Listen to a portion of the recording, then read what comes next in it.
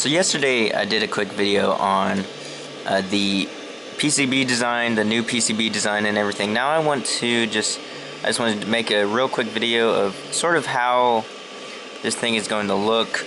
Um, uh, there's still modifications to make.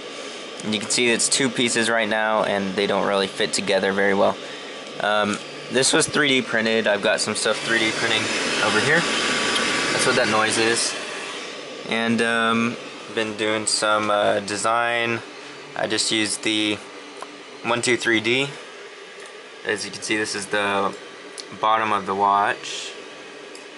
And these are just some prints that I've printed out, but so I just wanted to show you just the general idea of how the design is going to look. Um, so this since the beginning, and then the second prototype, and then this with the new board and everything. Um, so there's the switch, the charging port, the two buttons. So then you can see how this just comes comes uh, apart. It kind of just separates. Um, need to make some adjust adjustments on the size um, because it can be sort of difficult to take apart. So I wanted to make it fairly simple.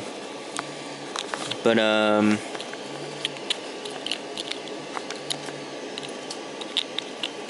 if I can get that out. So here you can see this is with the top taken off. The top does have a piece of glass on it. And then this bottom piece, uh, that's all connected. I've got stronger wire to hold in the LED ring. And down here, I just got a little separator. This is like not even a millimeter thick. This just separates um, the board from the battery so it doesn't damage the battery. So battery's down there at the bottom. We've got the divider and then the board